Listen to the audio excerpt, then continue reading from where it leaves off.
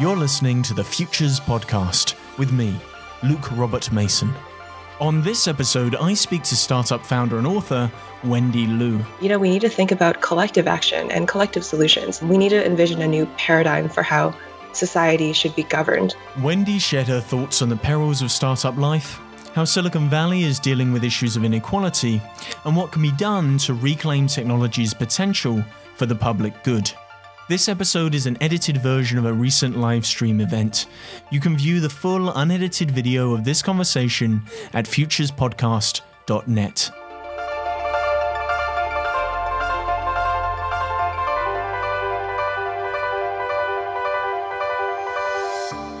Silicon Valley is often heralded as the epicenter for innovation and meritocracy.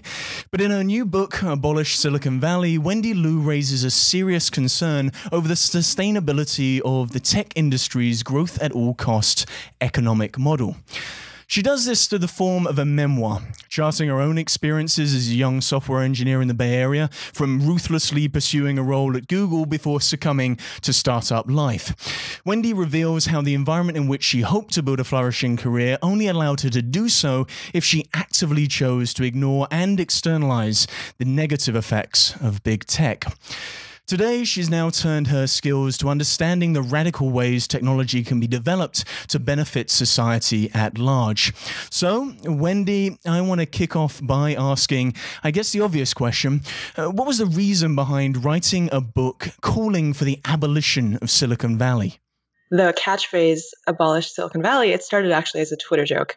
I think um, people were talking about abolishing ICE on Twitter that day and, you know, just the term like abolition, people were just coming up with riffs on it. And so I said, well, what if we just abolished Silicon Valley? And a surprising number of people seemed to seem to agree. And then after that, I ended up going on a couple of different podcasts. And both of those podcast hosts independently use the term abolish Silicon Valley as the title. And because of that, I guess it just it kind of stuck around. It was rattling around my brain when you're in the kind of tech bubble, it's very easy to just think of only the positives of the industry. And there isn't really much of an explanation for why some people would not be happy with it. But I had always felt a little bit of discomfort. And even in things like interacting with an Uber driver or, you know, a food delivery worker, I would be thinking, well, this person is getting paid so much less than I am. And there's something about this that feels a little off, and I'm not really sure why that's happening. So I started a master's degree at the London School of Economics in their inequalities program, and it gave me a deeper understanding of the problems of the system. Throughout the the course of that, I I felt like I was starting to piece together a better understanding of why why the industry was not necessarily as amazing as it seemed, and also why I didn't know until just now. I think what's really interesting about the tech industry is that there's such an ideological bubble, such that the people within it, they may really believe that they are doing the greater good, or you know, they're that they're that because they mean well, because they think they're doing well, you know, they, it's very easy for them to not understand the ways in which they're actually doing harm just because of the position that they're in and the fact that they're not necessarily going to hear from voices who are negatively impacted by the work that they're doing. And that definitely helped me see the world in a new light. And so I wanted to write the book as a way of explaining to others who may be struggling with the similar feelings of discomfort and discontent that I had been feeling, um, and help them understand that not only is there is there a way forward, but that there's a path for themselves. So I'm not I'm not just saying you know everything about this industry is bad. I'm not I'm not trying to negate people's own feelings of optimism about the industry. I think there are some amazing things associated with the industry, the culture of innovation, of invention, of you know just like really focusing on a problem and getting digging into it and just doing what you can with it. I think that's great. I think we do need more of that. But I do also think that the way the industry is set up right now, just the structures that shape it, they are not conducive to creating products that are good for humanity as a whole. And I think that that is the central shame. I think the talent of a lot of people in the industry is being wasted. And you know, the thing is a lot of them do know it. I've talked to many people in the industry who feel like they're not using their education and their skill set and their abilities to their full potential. You know, they've trained really hard to get to where they are, and then they end up uh, working at Google and making a button like more square or changing the colors of something, and they're like, why why am I doing this? Right? I, I thought I was going to do something better with my abilities. So I think that's the shame, and I think it's also it's something where um, I don't think individual action is going to be the solution, which is why I talk about abolition as this like structural solution. Um, I don't think individual people saying, I don't like the tech industry, I'm just going to do something different is going to fix the problem. It might be good for them, it might be better as a step forward, but I think overall we need larger changes. And so, what I'm trying to say in the book is, uh, you know, we need to think about collective action and collective solutions. Um, we need to envision a new paradigm for how society should be governed. The book is written as this um, half memoir, half expose kind of hybrid. And in the book, what you really do is you chronicle your attempt at startup life. In fact, you created a platform which you described as Tinder for advertisers. So I guess my question is seriously, Wendy, what the hell were you thinking? In, in, my in my defense, so we didn't actually build Tinder for advertisers. That was just one of the use cases that we thought could be good. we never ended up building that product this is one of those things where if I look back on it, I, I want to like slap myself, right? But at the time, everything just felt so natural because, you know, we started out with this idea for the kind of software we could build. We were looking around at other companies in the ecosystem and we thought, here's who our competitors are. We'll just do what they do and we'll somehow do it better. Um, we had a lot of, uh, you know, the, the hubris of like a 20, 22 year old trying to do something thinking, yeah, oh, this person, this company has taken $10 million in funding and they have a thousand people. That's fine. You know, we can do better than them. That was kind of what was driving me. It's just this um, self confidence, uh, arrogance, really, that didn't really come from anywhere, but that I think is pretty widespread in the industry. You do need quite a bit of that to get anywhere. The product we ended up building, it was it was kind of like we'd had this technical architecture and this, you know, this technical way of approaching a problem, but we didn't have a use case for it. And so we're just kind of like, well, let's see what makes money.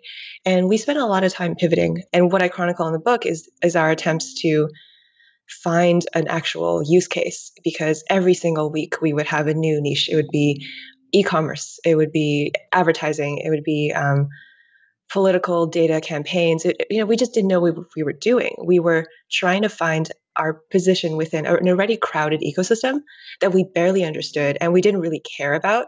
And so I think it was partly that we were we just didn't approach it the right way. Like, but at the same time, this was the method that we followed was one that we thought everyone was supposed to follow. It it we had interpreted all the um, you know, the startup advice that was out there. We'd read all the books, we read all all the blogs, we followed all the VCs on Twitter, and they were basically saying, you know, figure out what your customers want. Start from somewhere small. It doesn't have to be amazing. Just build what you think the ecosystem is missing. And we took that advice, but we didn't. The problem is, we didn't actually have a good sense of what we wanted to achieve. And we also just didn't have a good moral code. And so when it, we got to the point where we were basically taking data from people's Twitter and Instagram accounts and trying to figure out what we could do with it, there was a part of me that was like, this is a little creepy. Um, but also, it's really cool. That's what I like about uh, sort of the uh, the degree of naivety within the book. You were just trying to solve a problem, and the, the weird empathy that I have for someone like Mark Zuckerberg is at least when he tried to start Facebook, he had a mission to change the world. You know, he wanted to do something that was going to be uh, world changing, and then that original mission it got co opted, and it got co opted by his investors, who made him pivot into creating this global surveillance system for marketers. And and my concern is that today uh, what it feels like is a lot of these kids who are going into the startup area no longer have that lofty ambition. They're, they're actually just building tools for marketers and for advertisers to enable them to make a quick buck. And I, I just wonder are things worse today? Are things worse now than they were when you were in Silicon Valley? Mm, I mean, just a quick point on that Zuckerberg thing. I think when he initially started Facebook, he was just trying to like compare the attractiveness of, of women, right? I'm sure it got better later on, but you know, initially all he wanted to do was like rank girls based on how hot they were. So it's like let's let's not forget that. I think that is kind of crucial to the way the, the industry works and the way a lot of people think. But I think that's that's a great question. The industry is very polarized right now in a way that reflects the rest of the world really because I I think there are a lot of people who are thinking the way you describe, where all they want to do is build something that makes money and that makes them successful. They want to create like a $100 million run rate company. And then eventually from there, they'll, they'll start a new company or they'll work at a venture capital firm or they'll do the TED Talk circuit or something. I think there are people who think more in terms of what their company will do for them than what what their company will do for the world. And so, you know, they'll do some blockchain or e-commerce thing not because they care about it, because they're like, well, this is what the industry is rewarding right now. This is what will get me funded. And once I do this, once I, you know, finish this like mobile gaming play, then I can do what I really want to do, which yeah. is you know, Go not really sure. Yeah, something like space. that. Buy like 10 houses, right? Like who really knows? I think, yeah, I think there are definitely people who are more driven by the financial incentives. Even if they tell themselves that what they really want to do is build something cool, I think the, the fact is there's just so much money in the space right now, and that even the purest intentions will be corrupted by the fact that you can become a billionaire seemingly overnight just by convincing the right people that you know you're a genius. I think that's a huge problem. On the other hand, I also see a backlash, um, and that comes in the form of people who've been working in the industry for a long time and are disillusioned by it and who are, you know, quitting their companies or starting something new or otherwise just taking a stand. And so in the last few years, we've heard a lot of people tell their stories of just being disillusioned and quitting, you know, Google or something after like 10 years. Sometimes they're getting fired by the company because they're organizing, they're doing activism within it. And that's that's I think a pretty strong current. And I also see a big trend among younger people who, who are still in university or um, even in high school or who are just entering the industry who are more skeptical of the myths that the industry likes to tell. And so instead of just saying, I'm just going to get a job and climb the career ladder, they're thinking, like, I want to do some sort of activism within the industry. You know, they, they want to organize around uh, diversity, around ethics, around the many blind spots that the industry has today. And so, yeah, I think we have a really weird world where you have, you know, two different trends where you have the people who are drawn to the industry because of the money, because of the prestige, and then you have those who just want to make it better and who are not happy with the way things are. And I think those trends, like the way those trends mix, that's going to tell us a lot about what the industry looks like in the future. Uh, I mean, this was the funny thing about reading your book and reading your story. You, you were this young hopeful and you were hoping to break into Silicon Valley and have this massive startup, which, which eventually, and spoiler alert, but eventually failed. And then you went to the London School of Economics and it's there you learn about politics and you learn about social justice and you learn about inequality and you learn about civics. And I, I guess my question is do you think that if more of these tech bros just stayed in school, we wouldn't be in this situation in the first place? Great question. Um, I, I, do think there is a need for more humanities and you know ethics type education within the industry, but I also don't think that's enough. In a sense, like the biggest part of my education was not actually going to lectures; it was getting involved in activist circles and meeting people who were out from outside my tech bubble you know, meeting people who just for whom the economy was not working. And that was something that was quite new to me because when I was in university, most of the people I surrounded myself with at, at least had, you know, pretty decent job prospects. Or if they didn't, I could find some way to write it off. I could say, oh, they they just studied a bad major, therefore, whatever. You know, it's it's fine. But then in London, I met so many more people who were from very different socioeconomic backgrounds I could tell like these people they're they're very determined, they're very thoughtful, they're very kind, they're great people, and I felt these people deserve better in life than the lot they're being given. They deserve better than being crushed under student loan debt, um, from being unable to ever like live in sort of economic stability. You know, they they deserve better. That for me was a bigger catalyst than you know learning about these theories in the abstract because the theories in the abstract are good, but on some level there has to be this kind of moral force behind it. And I think that comes from our interactions with other people and whether we identify with them.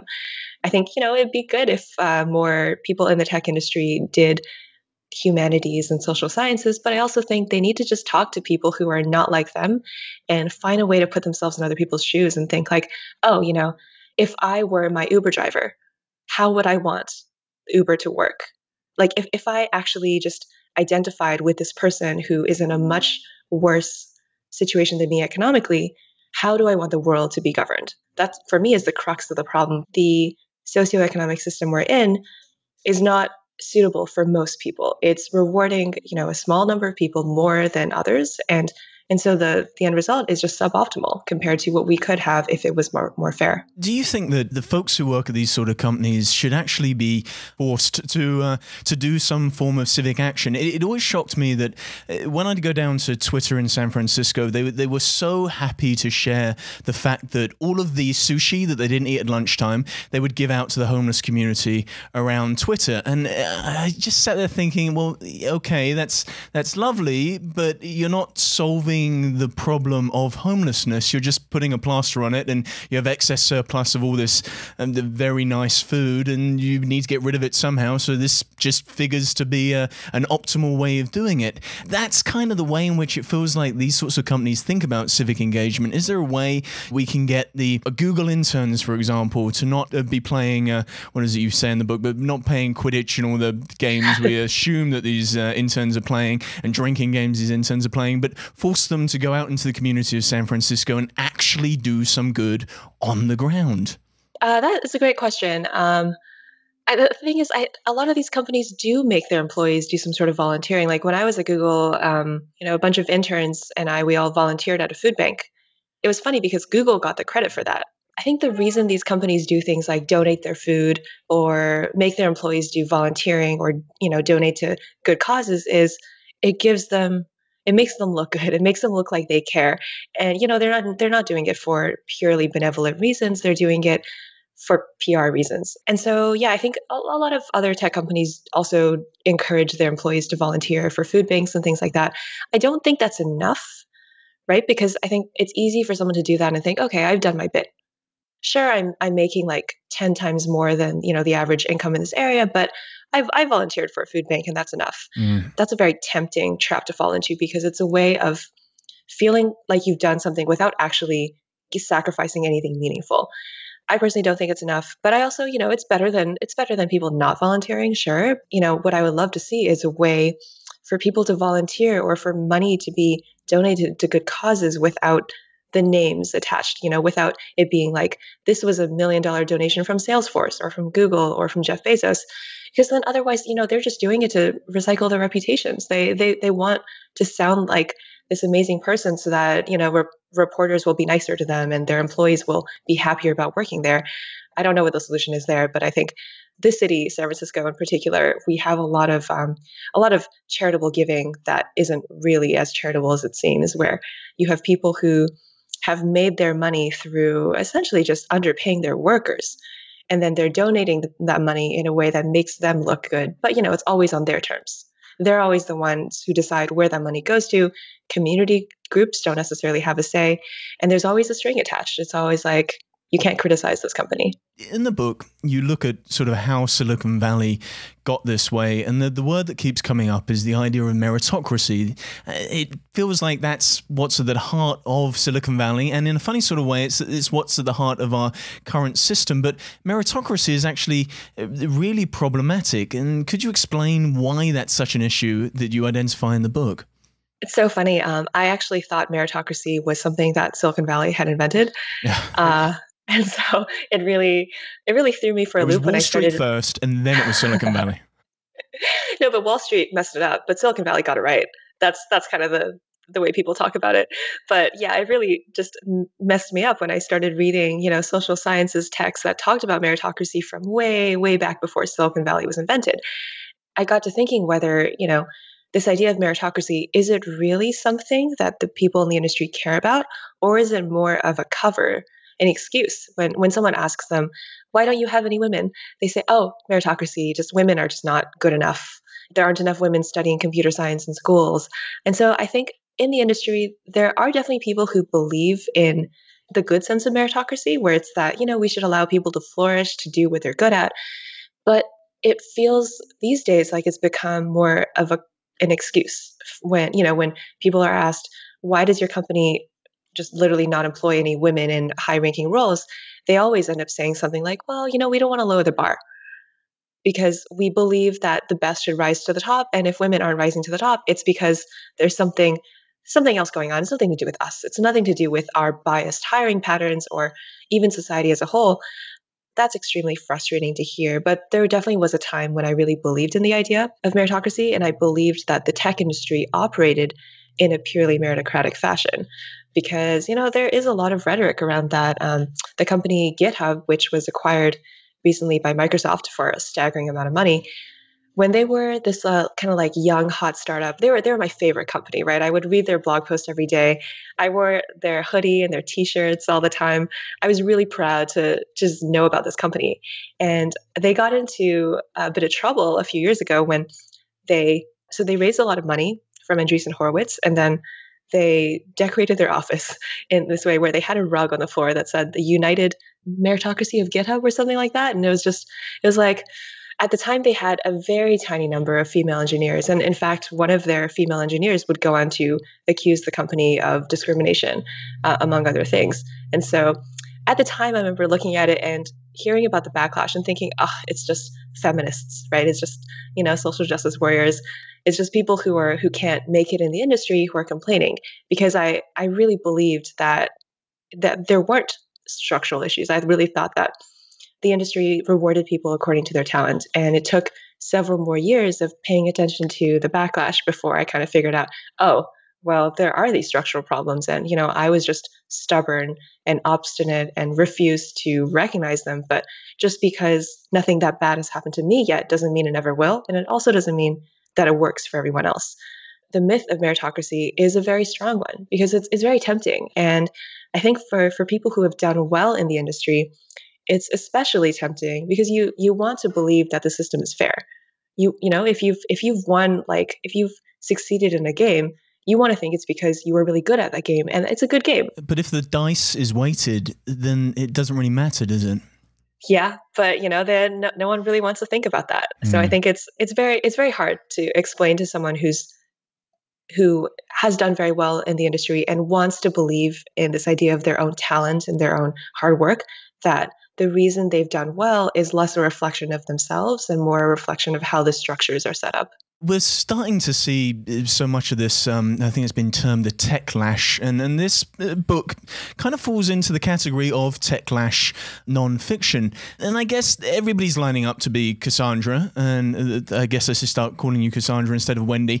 Uh, the, Cassandra of Silicon Valley. Everybody wants to be the one to sort of ring the bell and go, "Oh go- gosh, this thing is really, really bad." And but it's one thing to say that there's a problem, but what do you actually do to change it? How do you you get into the weeds and change it. Sean Rad who had his moment. We had um, uh, the author of Zucked, one of the key investors of uh, Facebook, who was ringing the bell and saying, "Oh goodness, this stuff is uh, is terrible."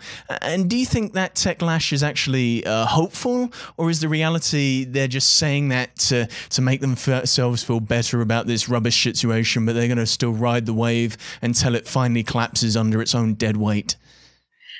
That was very poetic. um, I think that's a great question. I, I guess I like I don't necessarily want to be cynical about the motives of people who are, you know, ringing the bell. I think it's whatever their motives are. I think it's good that we're having these conversations because there are people who have been critiquing the tech industry for years. Mm-hmm. You know, since any company became prominent, there's always been someone, you know, a, a frontline worker, maybe uh, an academic, maybe some a journalist who's been saying there are problems with this and those problems will pop up like crop up very soon. But those people have not necessarily been given that much spotlight. And now that we have all these high profile people who were you know formerly insiders in the industry who are now saying the industry is flawed i think that's good. I think it's better to have just more of a spotlight on these things than to have them hidden away. And even if these people are doing it for maybe self serving reasons, it's fine. I think, you know, at the end of the day, we all have to be somewhat self serving just to get out of bed. What, what I would really like to see of the, of the techlash is to just to have more attention on the voices of people who are traditionally ignored because, mm-hmm. you know, the, the Roger McNamee's, uh, Tristan Harris's of the world, their voices are great, but also they're telling one part of the story and I think the the voices we need to hear now are the people who are dealing with this on the front lines. And when I say that, I mean if we're talking about the gig economy, we should be listening to Uber drivers. We should be listening to Deliveroo cyclists. If we're talking about the problems of Amazon, then we really need to hear from the workers, uh, including the software engineers, but not just those, like the you know the warehouse workers, delivery workers, anyone in the the kind of supply chain. I think the voices of the workers are often just ignored because it's assumed that they don't know anything. They, they don't know enough to have like a critical understanding. But the way I think about this now is that if you don't listen to their voices, then you're missing a piece of the puzzle. I almost have like this kind of technical analogy for this where, you know, if you're a software engineer and you have a program that's buggy, how are you going to fix it? You don't fix it just by like writing on a blackboard, here's how I'm going to fix it. You have to look at the bugs. You mm-hmm. have to investigate all the ways in which the program's not working and like pay close attention to all the failures.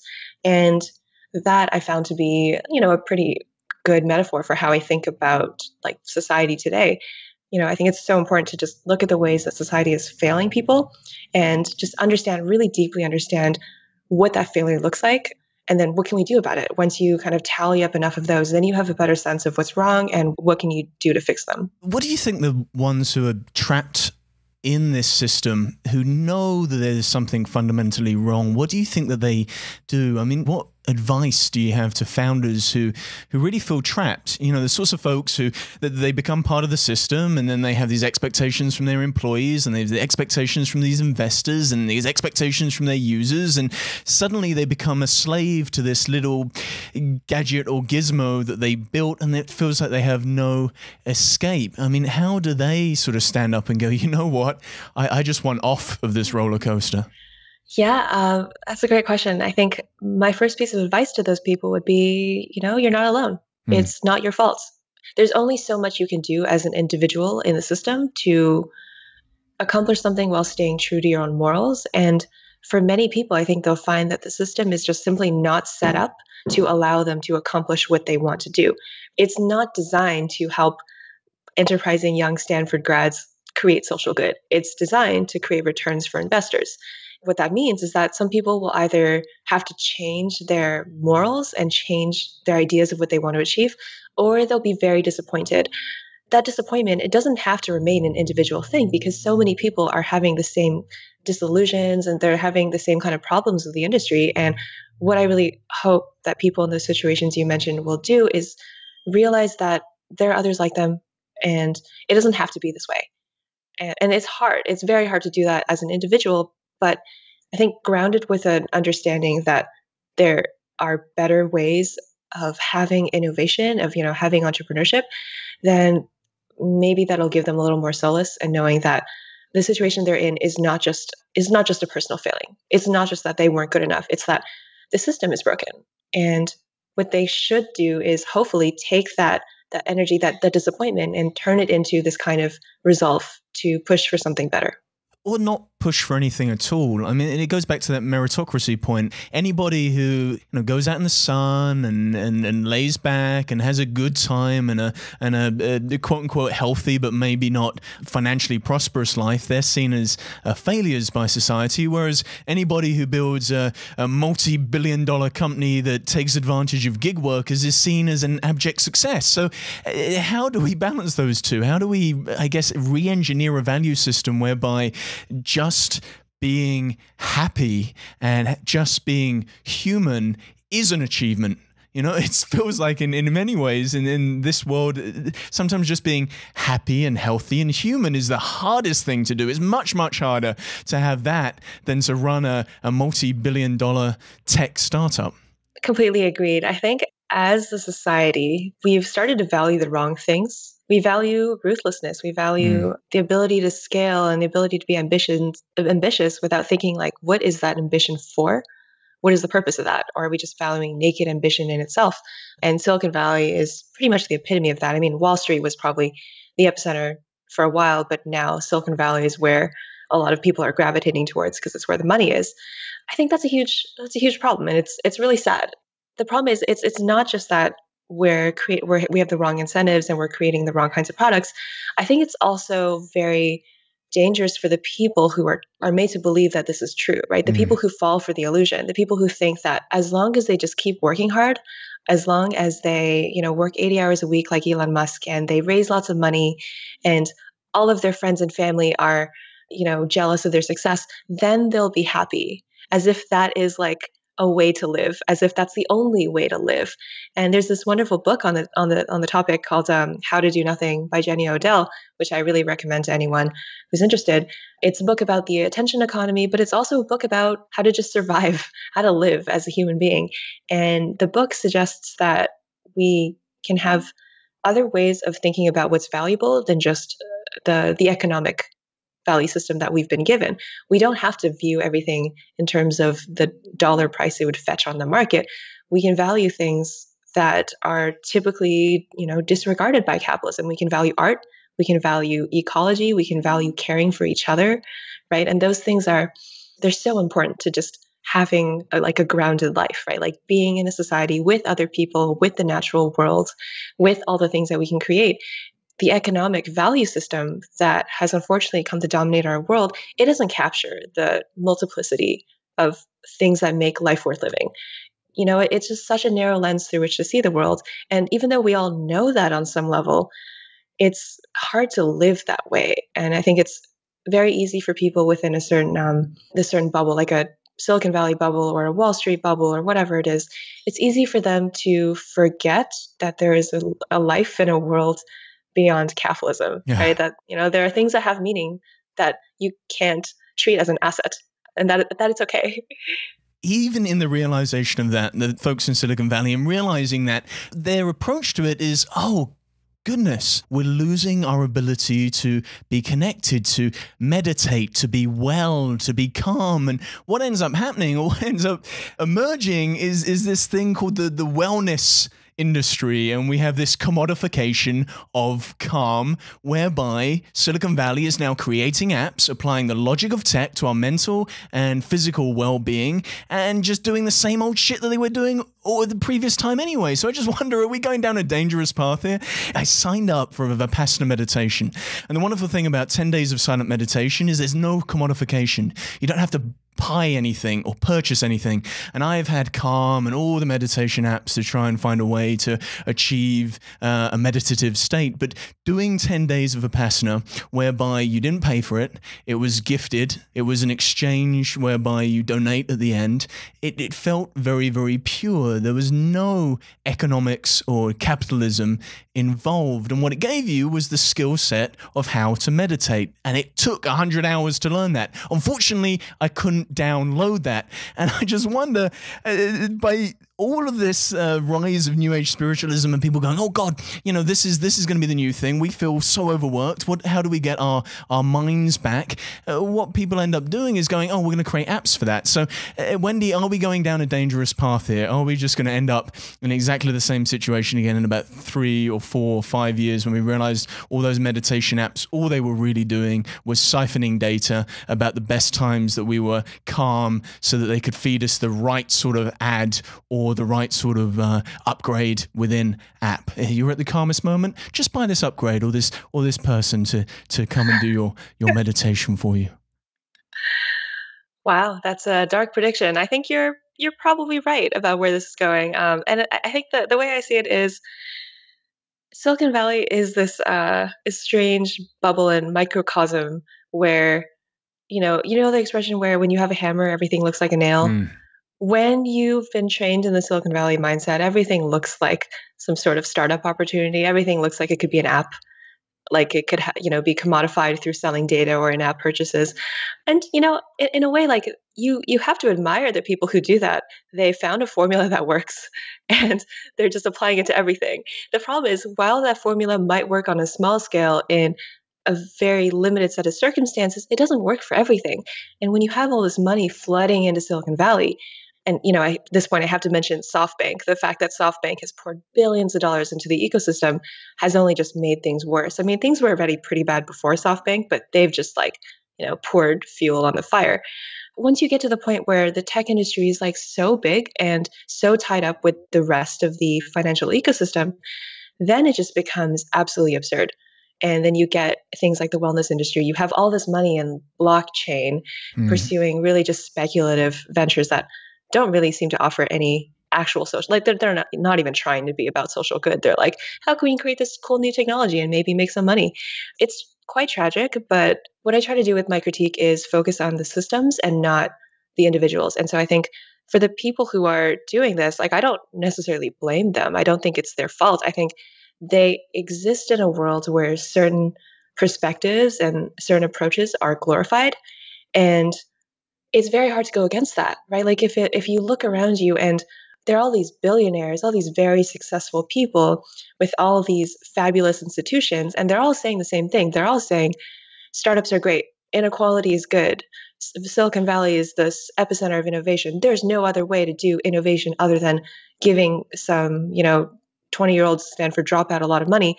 Then it's really hard to go against that. You know, Silicon Valley is uh, one of the new ruling classes, and their ideas are going to seem like the ruling ideas. Mm. And for people who, especially those who are who are young and who have not been exposed to other ways of seeing the world, it's just going to feel so tempting to believe that.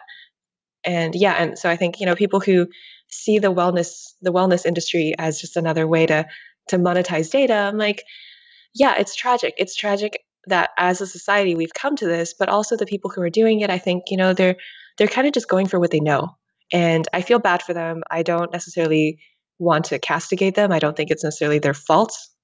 Maybe for some of them, but I think especially those who've been taught from a young age that the secret to success is like climbing the career ladder, being really good at what you do, being ruthless in pursuit of your dreams, then that's just the only value system they know. And for me, definitely, like I talk about it a bit in the book, but I was raised to believe that educational achievement was the most important thing. And, you know, once I'd graduated, I would have to get like a great job and just make a lot of money. And that all that mattered was just me making a lot of money. And that as long as I did that, then I could feel good about everything else. And I think that's something that many people, especially younger people, are realizing doesn't necessarily make sense. Like we're on a planet that is not doing super well. We're currently living through a pandemic that is upending all of our socioeconomic norms, right? Everything is just kind of in a state of rupture.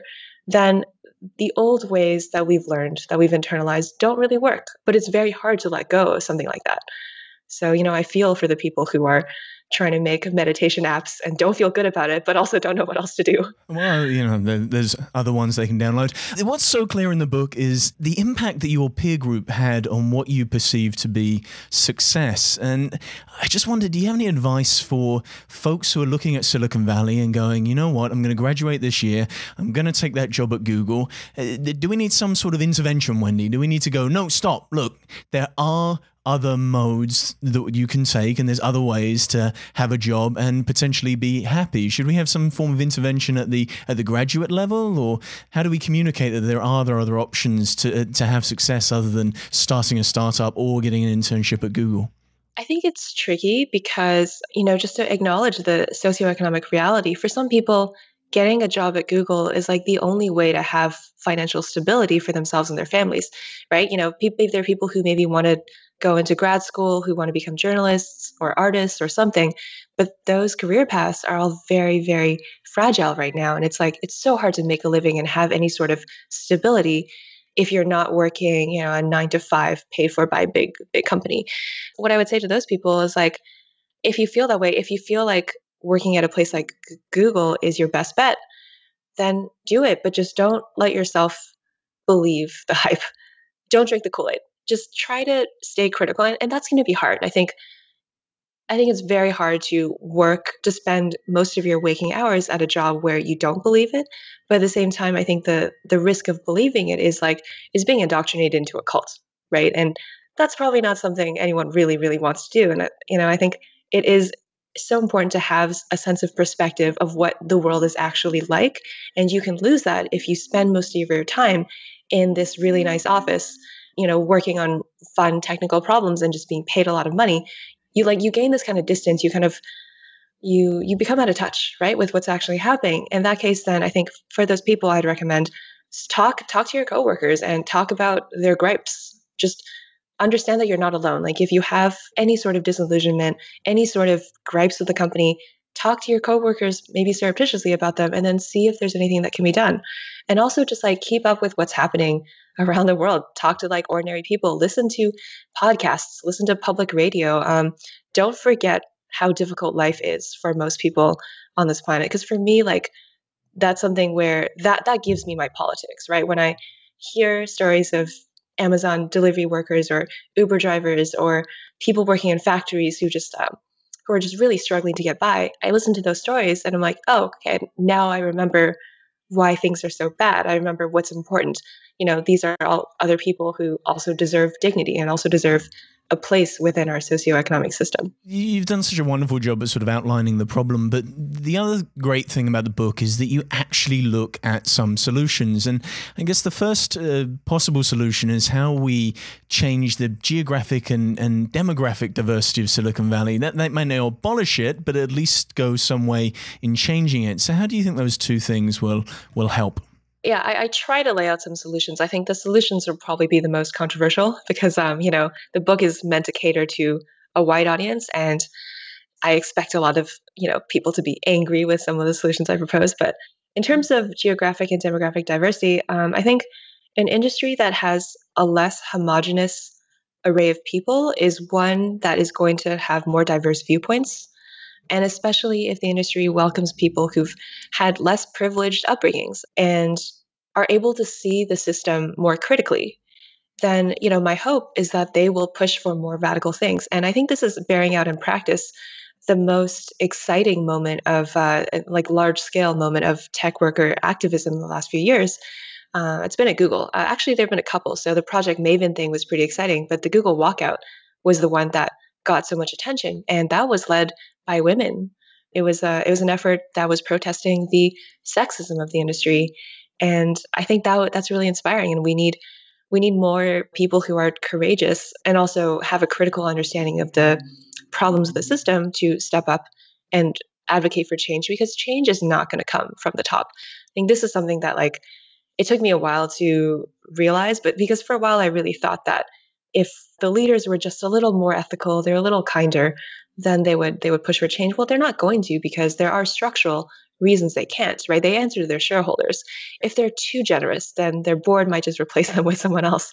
And so they have to be kind of forced to give any sort of concessions. And I think that comes from the bottom, that comes from workers coming together and collectively demanding something better. The interesting thing about some of the solutions that you that you offer is they identify the real problem and the real problem isn't technology, it isn't these companies, but it's capitalism. It's the system under which these companies are built and these companies have to run and these companies have to operate, which really defines their priorities. But you argue that, and I mean, it's hard to do, and it's famously been said that it's easier to imagine the end of the world than the end of capitalism. And I guess we're kind of close to the end of the world, so why not let's try to uh, imagine the end of capitalism? Um, you have these alternative systems. You outline these alternative systems in the book, and there's there's five of these alternative systems, and they are you're almost teasing us with the possibility of what could be. And the first one is reclaiming entrepreneurship. You see that entrepreneurship can actually be considered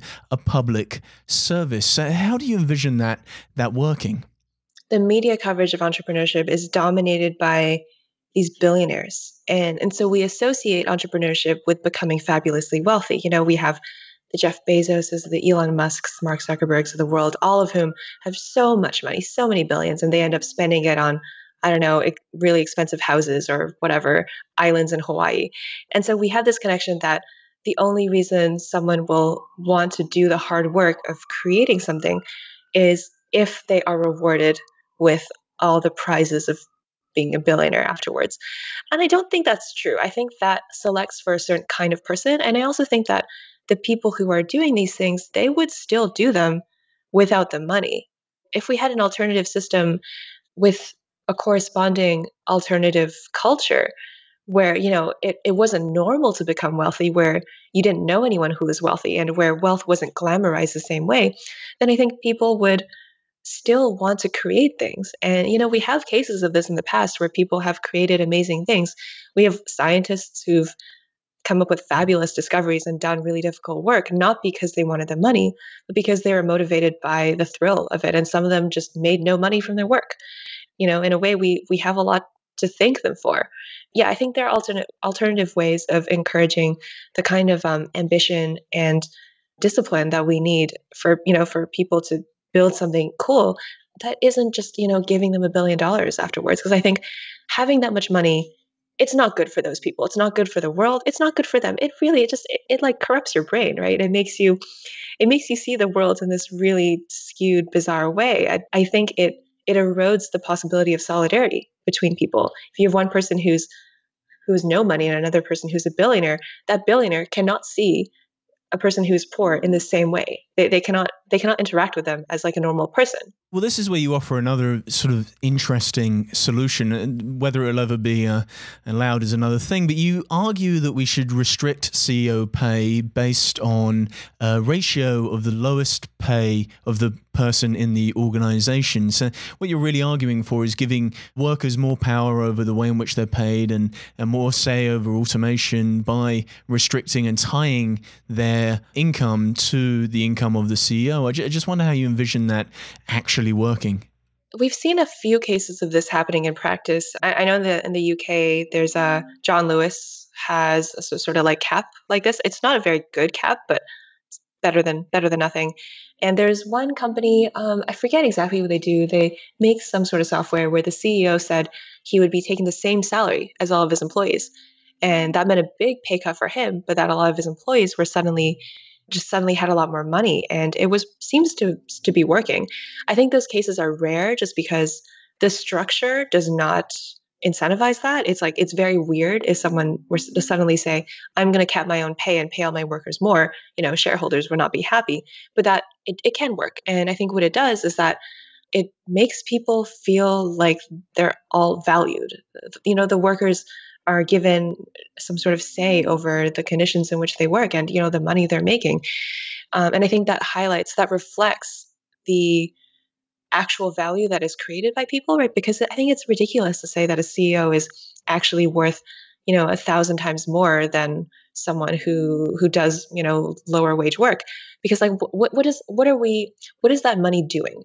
Is money a reflection of merit? Is it a way to allocate resources according to need? Is it a way to just tell people they're amazing? Like, it, you can't be all of these systems at once. And I think one of the huge problems with the way many of us think of money is that we think of it as something you can earn, as something that you deserve if you work hard for it.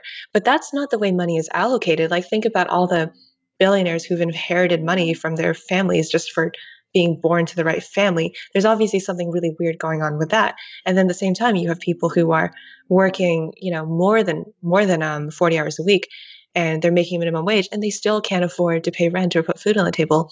We have this system of money that's just so fluid and so multivariate and it's just it doesn't doesn't make sense. We can't have it do all these things. I think we need to get to a position where we can treat money as just a way to allocate the resources that people need rather than saying, you know, oh, this person is a thousand times better, more deserving than, you know, their lowest paid worker. So we should give them this much money. It just, it doesn't make sense.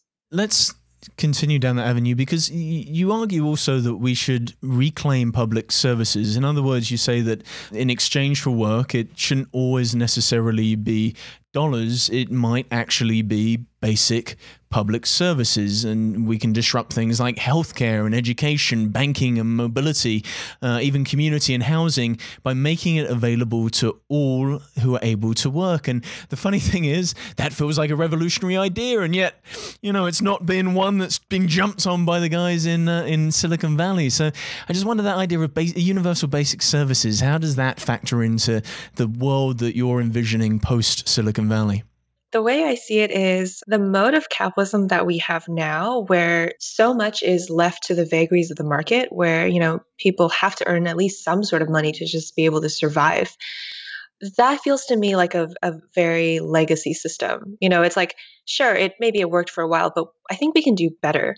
And for me, what doing better entails is giving people access to the resources they need to survive and like live a decent life while not punishing them for valuing different things. Like if someone just wants to spare, spend their time making art, taking care of their family, just like hanging out, enjoying enjoying the world, and it's like that's that's fine. I think what we need to figure out the the big question then is how do we ensure that enough is produced that everyone actually has, you know, all the food, all the the materials they need. I think the idea of uh, tying work to the ability to live, for one, that devalues care work, which is a, you know the sort of work that is typically shifted towards women and it's just treated as something that women don't deserve to get paid for but it's still it's still work. It's still necessary to keep society functioning. I hope that society has gone to the point where we have advanced enough ways of um, coordinating production and communicating with each other that we can have a more humane, a more generous system where everyone is just expected to just be a good citizen, to live and to like not harm other people or like the world, and instead maybe maybe they have to work a certain amount of hours depending on where they are and what needs to be done. But the goal should be to allow people to, to just live a flourishing life without this threat of you know if you don't choose the kind of work that is sanctioned by your government then you're going to starve. Like if you don't work a, low wage job at mcdonald's um, doing something you you don't enjoy then you know, we just, you're just going to be homeless. You won't be able to get healthcare. And if we look at the variety of um, different welfare systems among different countries, then I think we get a sense of the possibilities. Where in the US, we have such a, a stingy welfare system. And, you know, we don't even use the term austerity here because we're just kind of like living in austerity. In the UK, at least you have the NHS. Even if it's being defunded, at least there's this idea that you can just be a person in the country and get healthcare and not have to go into medical debt for it. So, and you know, that a lot of the Scandinavian countries have much stronger welfare systems. So, I think just looking around at the world we have now, it's clear that there are better ways of doing things than that we have, you know, in the US, especially. You know, we definitely need political will. And I think we also just need a different way of looking at the world and like looking at our responsibilities to each other as human beings, right? Because like all of what my politics is about is this idea of solidarity and this idea of creating a system that works for everyone, a system that actually treats people with with dignity and gives them the resources they need to just survive. We're going to take a, a, couple of questions from uh, YouTube now. Uh, Gemma asks Is it possible to change things in Silicon Valley without changing things on Wall Street? In other words, uh, should we actually be looking at Wall Street instead of looking at uh, Silicon Valley? I do think a lot about the ties between Wall Street and Silicon Valley. Unfortunately, it's not something I know that much about. Like I, I wish I had a better understanding of how it actually works behind the scenes and what are the avenues for change? Like what are the levers? When I talk about Silicon Valley as being, you know, part of a larger structure, then I, you know, I also mean Wall Street. I mean the way that finance is marshaled towards these companies, that is a big part of it. And it's funny because a lot of these tech companies in the financial sphere, they'll say things like, we're going to disrupt Wall Street, we're disrupting the, the predatory banks. And then they end up having to raise money from those banks and working with those banks. Yeah, Wall Street and Silicon Valley are highly connected, even though there are many in the tech industry who would say, we're better than Wall Street, we're disrupting Wall Street, but they still they still rely on it. There's a symbiotic relationship for sure. There has to be change on the level of how capital is allocated. I'm not sure if that's something that will come from within Wall Street. I feel like I'm definitely less hopeful of collective action within Wall Street. I don't think that's something anyone's expecting anytime soon. I hope regulation will play a role in that, where, you know, it's the government has a lot of say in how Wall Street and, and the city and the UK and how these systems operate. And the reason we're in the system we have now, where finance is just completely untethered from reality, is mostly the result of deregulation, you know, starting in the 70s with um, Margaret Thatcher's Big Bang reforms.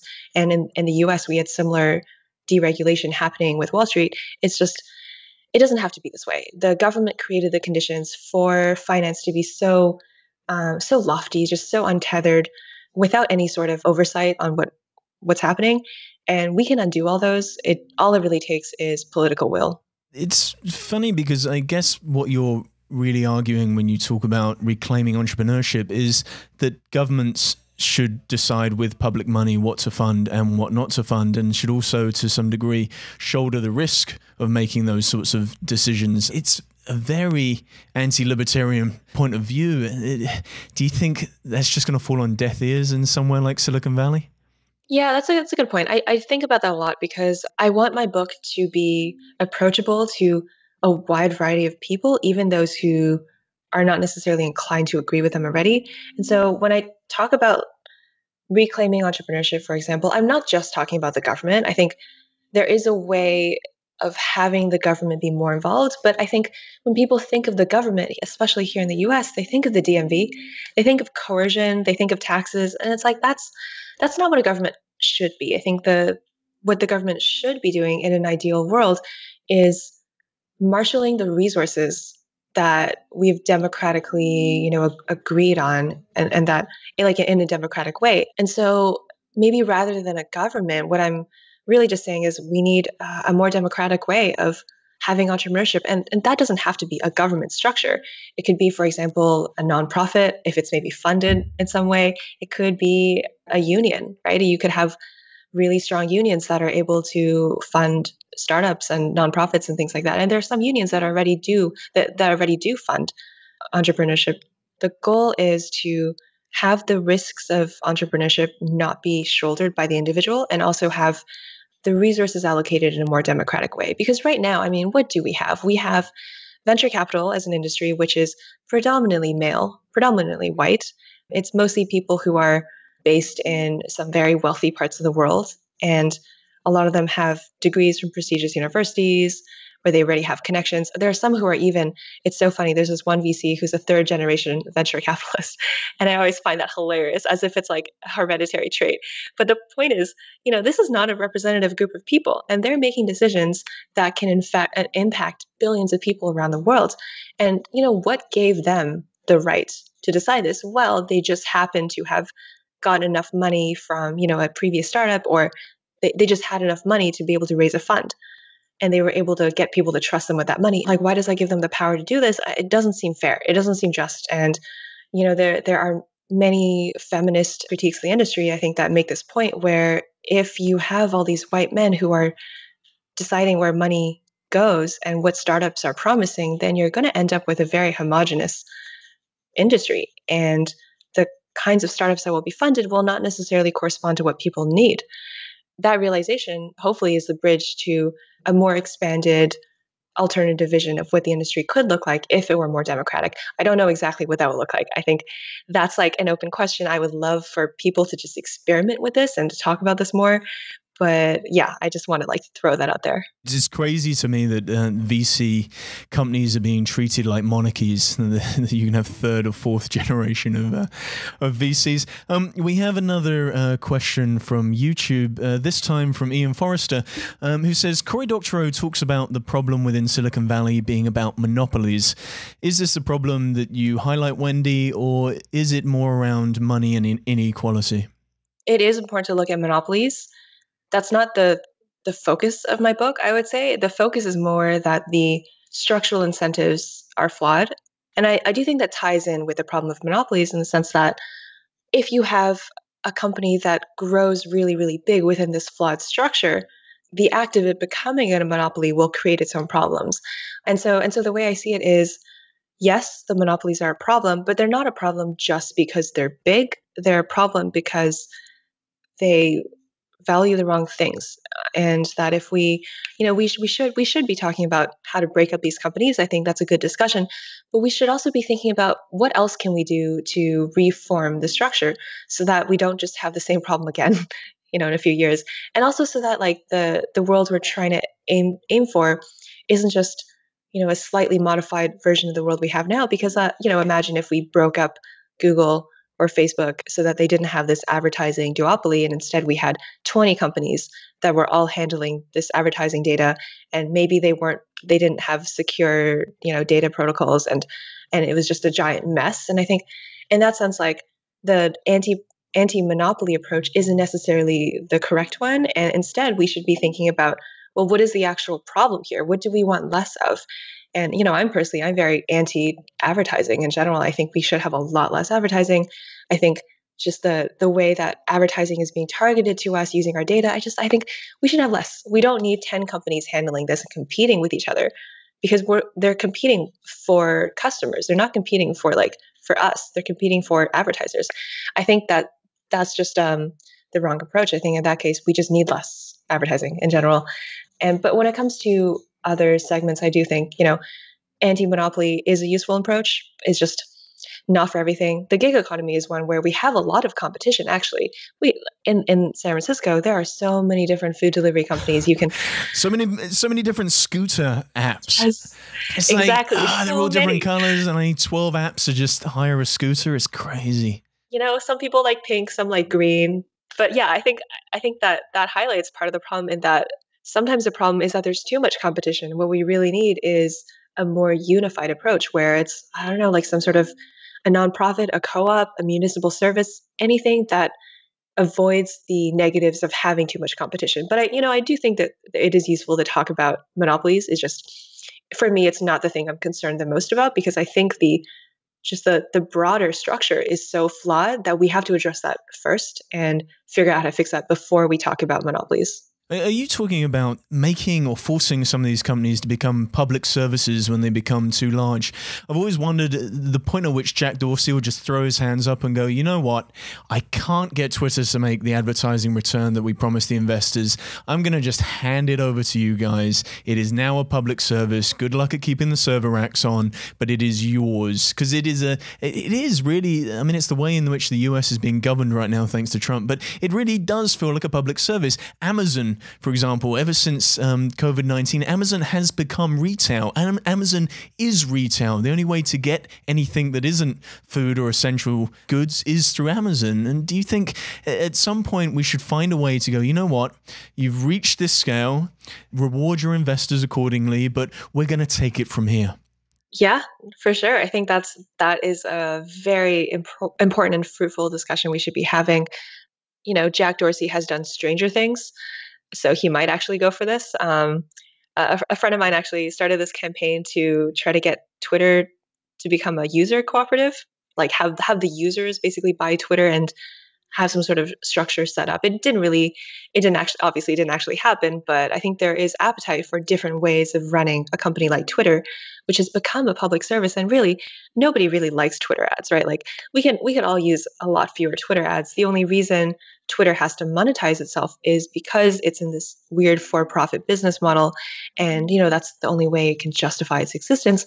But like if we treat it as a public service then we might all have a better experience and we might be able to more democratically govern the terms by which people you know are allowed to tweet or just are, are getting suspended and things like that. Because right now it's just it's so hard for an ordinary person to actually have any say in how Twitter operates. Same with Amazon, same with Uber. And I think that's that's just not working. Maybe that would have worked when these companies were tiny, but once these companies become billion dollar entities that affect so many people, then we need a new model. Like this shareholder driven private corporation model just it it doesn't suit the realities of the situation. There's another uh, question from YouTube, uh, this time from Peter, who says uh, you, you, mentioned governance being at the core of the problem. What do you think about worker co ops or orgs that are collectively governed by values driven communities instead of corporations? Uh, should we be looking closer at cooperatives as a potential solution to some of these issues, or is there governance issues with cooperatives in the first place that makes them very difficult to run? Yeah, great question. I'm not an expert on co ops, but I, I, like the idea. And I think um, one of the problems that co ops face is that they're trying to compete in a market that favors large profit driven corporations. If you're if you're a co-op trying to compete against Uber, for example, you're not going to have a good time because Uber is backed with billions and billions of dollars and they have access to the, the best lawyers money can buy. They can, you know, if they want, they can try to bribe politicians. And so if a co-op tries to compete on an already uneven playing field, they're going to have a tough time the impacts of that will be felt, you know, by the workers. So they might have to pay themselves less. They won't be able to survive very long. And so I think what needs to happen for co-ops to be more viable is there need to be structural changes that make it a more even playing field. So, you know, so that co-ops are given more funding and the rules just favor co-ops in general.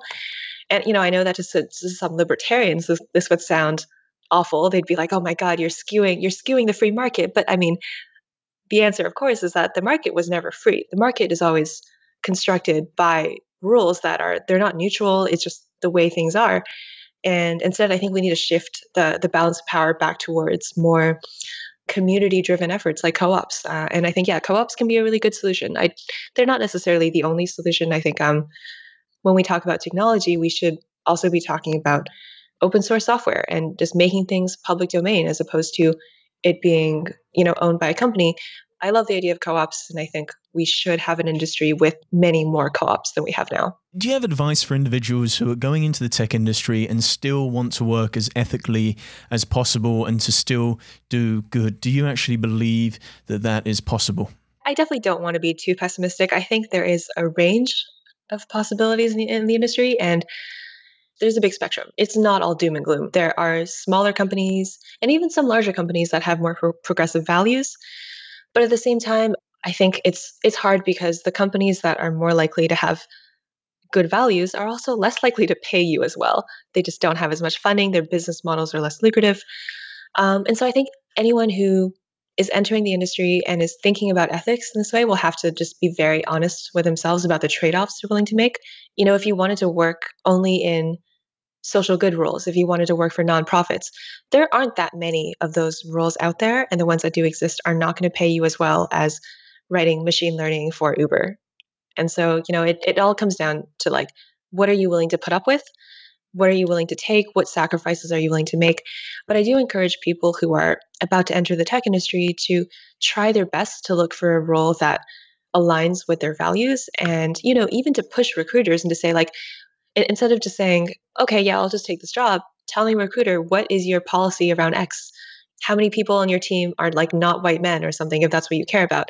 What is your company's perspective on like these ethical questions? I think it's worth trying to figure that out. If enough recruits do that sort of thing, then these companies will have to at least talk about these things, right? It, the the industry works a certain way partly because of the response it gets, and if um if enough prospective hires are pushing back and saying we won't work for this company until they change this, that is going to have some sort of impact if if the scale is high enough if all of the uh, new graduates rose up and went, you know what, we're not going to join Google's internship program, I think that would have a massive change. Uh, Wendy, it would be irresponsible of me not to mention the elephant in the room, which is the current crisis. And I just wonder, COVID 19, uh, do you feel like what's happening right now might actually expedite some of the changes that you you want to see? I try to remain hopeful, but I also just given what's been happening, it does not look good. And so I think there's there's a part of me that thinks, yeah, you know, after this, people are going to realize we don't have to run the economy the same way. But also, this is an opportunity for the more malevolent forces to take power, right? And so this is a good opportunity to just kind of for those in power just crack down and extract more money. What we're seeing in the US is like the government is passing these bills that are not adequate to address the problem, but at the same time are transferring wealth to the already wealthy. This is what we should expect given the kind of political forces that are in power right now. And it's also it's it's horrible, it's horrifying. I'm worried that a lot of people are going to die, a lot of people are just going to be financially struggling and won't be able to make it. But also, yeah, I, I do hope that the fact of this crisis and the truths it has revealed about our economic system will give people this like broader vision of how else we could run society. The, you know, in the US, we have so many unemployment claims already. And, you know, we, we might be passing the Great Depression in terms of unemployment soon. There are so many people who didn't pay rent this month. Like that's that's got to change something, right? And there, I'm sure there are people who are realizing, like, well, we, we could just do this all the time. We don't. We should just not pay rent ever. We should all just be able to, you know, survive on different terms. I do hope that this catalyzes um, a different way of looking at the world. And I hope that it serves as an opportunity to reimagine these structures that bind us all. Because at a time when the virus is really just upending the social order, uh, then you know we we should realize that we don't have to abide by the terms that capitalism has set for us. We don't have to treat people only in terms of their market value and you know every transaction doesn't have to be a commercial transaction. We can just relate to each other as human beings who want each other to survive. Like we we want to build a society with all of us. That's what I hope in a funny sort of way, Wendy, it feels like it could go one of two ways. It could either go into this dystopian reality whereby uh, bringing in track and trace is going to have a massive civil liberties issue, whereby we're constantly being tracked for our movements, arguably for for tracking the virus. But of course, once that's out of the bag, it can be used for other things. That's um, one end of the spectrum. Although the other end of the spectrum argue could argue that quarantine might actually make us appreciate human connection, reorient reorient our value system, make us realize that we've been doing these bullshit jobs that we don't need to do anymore, and might possibly upend the system in that way. I mean, uh, do you think we're heading for uh, utopia or Black Mirror dystopia? Yeah, great question. I think I think we're going to see a bit of both. I, I am very worried about the surveillance implications. Certain companies are just going to amass power during this. Like Amazon is expanding so much. Walmart is doing really well during this crisis.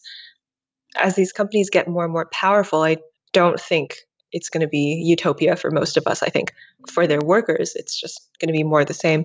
But I think the utopian possibilities are inspiring and worth talking about because as people who've been doing their jobs at a time like this, they they must have to stop and think like, why am I doing this? Why am I, you know, working on the advertising campaign for the 2020 Prius or whatever? Why does all this stuff matter? What is our economy actually for? All of the jobs that people are doing, like which jobs are actually delivering social value and which ones are just a legacy of the system that we have, which is geared around consumption and advertising and fossil fuels. Maybe, you know, after this, people are going to quit their jobs if they can, if they have the financial luxury to do so. And they're going to say, well, I want to do something else. Like, I don't. I don't think what I was doing before is actually what I want to do. Um, I think there are more important things. I want to spend time with my family. I want to take advantage of all the amazing things this planet has to offer and not spend all my time you know trying to climb that career ladder for something i don't even believe in in the first place. I do hope that happens. I think in the tech industry um, this will serve as a wake-up call to some people. If you're if you're a white collar software engineer and you can work from home and you know that the world is collapsing around you while you're trying to debug this like javascript thing you're probably thinking like this feels weird. And i hope these people like lean into that discomfort and think okay why does it feel weird? What can i actually do about it? Um, how do i readjust my understanding of the world to find a better path forward? That's that's kind of what i'm hoping for Silicon Valley doing enough? I mean, something like coronavirus, COVID 19 feels like one of those sorts of challenges that the coder community would want to get behind. And I know we've seen examples of hackathons, massive hackathons, where people are trying to find solutions to this problem. But uh, do you think for the Silicon Valley company that actually uh, provided the resources or, or, or, community platforms to help us overcome this, this this would be massive for them, and it feels like they've been very quiet. I know I know you've talked about uh, briefly about WeWork and what if WeWork actually opened up all their spaces as healthcare spaces, all this this land and all these campuses that uh, Facebook and Google have. Why don't we turn the Facebook campus into a into a field hospital, for example? I mean, how do you think Silicon Valley can do more before we abolish it? Yeah, great question. Um, I think anything that these companies could do that would actually help address the crisis in a substantial way would also probably not be popular with shareholders, right? But at the same time, I mean, we're in such a moment of crisis that maybe they could just do it and then people would be like, okay, that's fine right? But to your argument, Wendy, that surely at this at stages like this, shareholder return, and I know it's you know when you create a company, it's within the the, the rules and the the law of creating that company that you have to do good by your shareholders. But surely something like this should um, that, should over overcome that, and make that null and void in, in moments of crisis. Shouldn't we shouldn't we re-engineer the system in that way to to force these companies to act like public services and provide the good that they should have been providing by paying their taxes in the first place. I agree, but at the same time, you know, the the show must go on. Companies are still releasing their quarterly earnings reports. I've heard that Netflix had a really great quarter, as you can imagine. And yeah, I think it's it's hard for people to snap out of it, right? Because the the thing about capitalism is that it just feels so totalizing that, like you were saying in the beginning, it, it is hard to imagine the end of capitalism. It's easier to imagine the end of the world. And even though we're kind of at an end of the world type scenario, it's still really hard to shift out of that because we've set up all these in- institutions, we have all these um, cultural norms that force people to behave in a certain way. I would love to hear tech companies and uh, like tech leaders actually sacrifice something substantial to deal to do something about the crisis. I think the most we've heard is um, Jack Dorsey saying he's going to donate some money, which isn't really a donation, but it's just he's just shifting ownership of um, some of his stock. And from what I've heard, it's actually he actually promised to do more than that. And so this is just um, you know, him trying to capitalize on the scenario. But yeah, I think there's a lot these people could do. But what I really want to see from Silicon Valley is I, I would love to see tech leaders act in a way that isn't just about making themselves look good, but is instead about actually reducing their own power. Because, like, the fact that we're in a situation where we actually do want Silicon Valley to step up and offer their resources tells me something is broken they, sh- they shouldn't have this power in the first place. Um, the fact they do is, you know, something we just have to deal with. But like why why does WeWork have leases on so many offices? Why it was WeWork still making its cleaning staff come in to clean these empty offices without protective equipment? Like why does it have the power to do those things? Well, because it got all this money from SoftBank. Why did that happen? I think, you know, once you start kind of asking these questions and you realize that the power that these companies have, the the wealth, the resources they control, should not necessarily be under the purview of these private companies in the first place. And you know, you know, if I'm going to try to like end on a nice note here, it's let's imagine a world where we don't have to beg Silicon Valley billionaires to donate some money to deal with COVID because we have the democratic institutions to do that in the first place. You're a coder, you're a software developer at heart. I mean, that's what you uh, you grew up doing and, and you grew up loving to do. I mean, uh, deep down, does it make you a little sad that by abolishing Silicon Valley, the rapture of the nerds is never going to happen? I, I, hope I've moved on from that. but I, you know, I think when I talk about abolishing Silicon Valley, I'm not saying that no one gets to code, right? I'm saying that the people who want to code and to, to build things, they get to do it in a, an environment that actually respects their talents and recognizes the needs of the rest of the world. So, in that case, people who are listening to this podcast or, or watching this live stream, what way can they engage in the sorts of radical politics that you're talking about in this book to eventually upend the status quo as it is now? How do we not just envision that better alternative, but how do we actualize that better alternative? Mm, ah, amazing question. Uh, I wish I had more concrete answers. I think we're we're living in a really weird moment where it's very unclear to me what's going to happen, and so I don't really know you know, what are the best avenues to address this? I think the, the most promising things I'm seeing come from worker activism within the tech industry. And so we have groups like Tech Workers Coalition, which you know has branches in many US cities and also in, in the UK. That's that's really interesting. I think there there are people who are just doing local activism or some sort of like electoral electoral politics where they're they're trying to make things better in their communities and they're advocating for you know, in San Francisco, we have a huge homelessness problem, and there are people here who are advocating for changes to that. They're, they're saying, like, well, the part of the reason rents are so high is because we have all this tech money flooding in. And so there, you know, there was a ballot measure in San Francisco to basically tax tech companies and use that money to home to fund homeless shelters. Um, and I think that's that's useful. Like, so it's a way of connecting in people's minds that the problems are linked yeah, I think, you know, I'd recommend people get involved in your community, find some sort of like activist group that appeals to you, talk to your coworkers, um, and just also like take care of yourself. I think that should be step one in a pandemic like this. Like, as much as we should be thinking about what comes after, we also have to just deal with the here and now. And it, it can be really hard. Like, I'm having a lot of trouble just coping with everything. Like, every, every day the news just seems so dark. And the most important thing is just like, we all just need to get out of this and keep each other safe. And on that note, thank you, Wendy, for joining us today. Thank you for inviting me. This has been great. Thank you to Wendy for sharing her thoughts on how we can create a much fairer tech ecosystem. You can find out more by purchasing Wendy's new book, Abolish Silicon Valley How to Liberate Technology from Capitalism, available now. And don't forget, you can watch the full unedited video of this conversation at futurespodcast.net, where you can also find out about all of our live stream events. If you like what you've heard, then you can subscribe for our latest episode. Or follow us on Twitter, Facebook, or Instagram at Futures Podcast. More episodes, transcripts, and show notes can be found at futurespodcast.net. Thank you for listening to the Futures Podcast.